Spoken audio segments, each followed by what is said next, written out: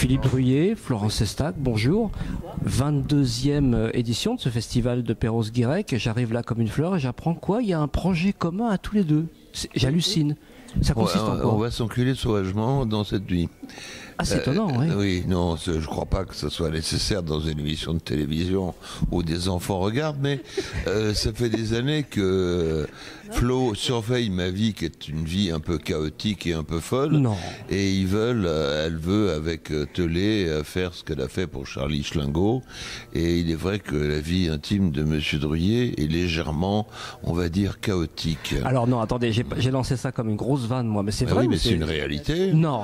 Ah Oui, et ça sera à mon 14, propre- 14 bouquins de 50, euh, 80 pages. Oui, oui, parce que Schlingo, on a réussi à tout caser dans un volume, mais Philippe, ça va faire euh, 15 volumes, effectivement. Oui, non, non, alors attendez, je c'est sais plus là si on parle sérieusement ou si non, c'est un nous, on est gag. ou que des gens sérieux, nous, on n'est Non, pas non, des- mais c'est très sérieux, mais c'est eux qui veulent. Bon, simplement, euh, Flo me déclare, quand je l'appelle au téléphone, puis raconter mes derniers avatars, j'ai dit, est-ce que tu as noté le précédent?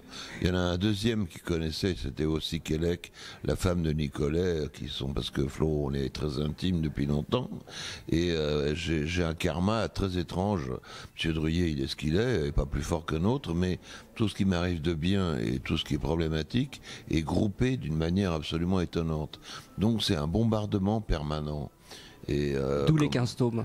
de- non, mais de- oui, je sais pas s'il y aura 15 tomes, mais tellement riche que, euh, effectivement, il faudra bien 15 tomes, oui. oui. non, mais moi j'arrive à faire chez moi des gags absolument extraordinaires que dans le cinéma Laurel Laurel et Hardy font. Il leur faut quatre jours de répétition. Donc j'arrive à me bloquer une poche dans une dans dans une poignée, me foutre le doigt dans l'œil perdre, comment dire, mes, lunettes sur le sol et me rattraper derrière avec le costume qui est bloqué. L'autre jour, je sors d'un taxi et mon manteau était coincé. Le mec a dû me décoincer le truc. Il y a des gens qu'on paye au Cinoche pour faire ce genre de choses, et moi c'est gratuit. Alors c'est, je commence à en avoir marre. Et c'est tout tout le D'où temps. d'où les 5 tomes. D'où les. Et un jour, j'ai mis un doigt dans l'œil de ma femme, elle s'est retrouvée avec un cocard, personne n'y a cru. Tout le monde l'avait cru que je l'avais battu.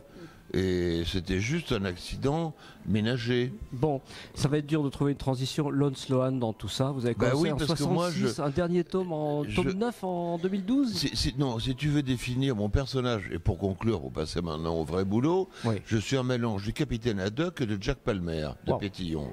Et tu as le druyer intime, c'est comme ça. D'accord. Bon, pour le reste, je me suis évadé dans des folies euh, que Jean-Pierre Dionnet, ici présent, connaît mieux que moi. Et euh, ça a été bon l'invention de mes personnages, et puis bon la création d'une vie, et puis les rencontres, les passages, la littérature, le cinéma, et tout le bordel, et la musique, et la musique très importante. On parlait de la musique à l'instant, tu branches ton mignou, quand moi j'ai j'ai 20 ans et qu'on me propose à l'idée Sylvie Vartan ou, ou l'autre con de Nice dont j'ai oublié le nom, je sais pas où j'ai oublié, je me dis c'est quoi cette merde? Et puis après, bon, les gens de- d'Angleterre et des États-Unis sont arrivés, les Doors, j'écoutais pour la première fois les Doors en 64, et j'ai découvert ma musique qui était correspondante avec la bande dessinée. Et nous allions chez Futuropolis, la librairie de Florence et d'Étienne Orbial à l'époque, où nous achetions les revues underground, et je m'apercevais que Greg Irons, dans le même mois, on s'envoyait des bouquins, après je te laisse la parole, et euh, il travaillait sur Escher comme moi. Donc il y avait une pensée générale mondiale de dessinateurs et de musiciens qui s'est conclue en musique par les Sex Pistols à la fin des années 80, qui était la fin d'une période et d'une époque. Mais on se retrouvait tous à Futuropolis. Chouette résumé. Chouette résumé et façon de oui, pa- oui. passer le, le flambeau donc Oui. à Florence. C'est le dernier volet de la série. Alors donc euh, de, vo- de vos démons de minuit. euh, L'histoire de la vie de Fifi? Non non non, non, Ah non, de, de votre de votre propre euh, Ah, saga. mon œuvre, mon œuvre à moi, le démon du soir, non, non, il y, aura le démon de minuit. minuit. Ah oui, oui, oui, minuit. ouais. La maison de retraite, les petits enfants, euh, il y a encore du matos, hein, parce que. Il y a encore à faire. Oui, oui, il s'en passe hein, dans les maisons de retraite, il s'en passe. Oui, Je veux bien vous croire. oui, oui, donc j'ai un, un volume de prévu, mais pas tout de suite. D'autres projets déjà en dehors de, du projet de la vie de Philippe, bien sûr? Euh, un- je vais faire un, un album toute seule, là, sur une, une histoire de fille encore.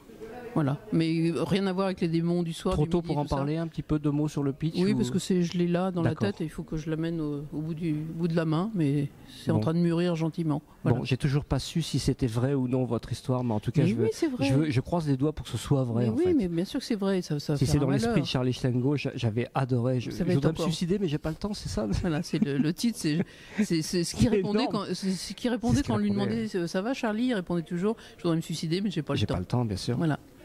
Et avec le Fifi, bah, ça sera ça multiplié par 100 Moi, quoi. je dis, euh, ne vais pas à mon enterrement parce que c'est pas la peine, j'y serai pas. Donc, euh, donc voilà. Voilà. Bah tiens, comme mot de la fin, on fait pas mieux. Merci à tous les deux et je vous souhaite un super bon festival. Merci.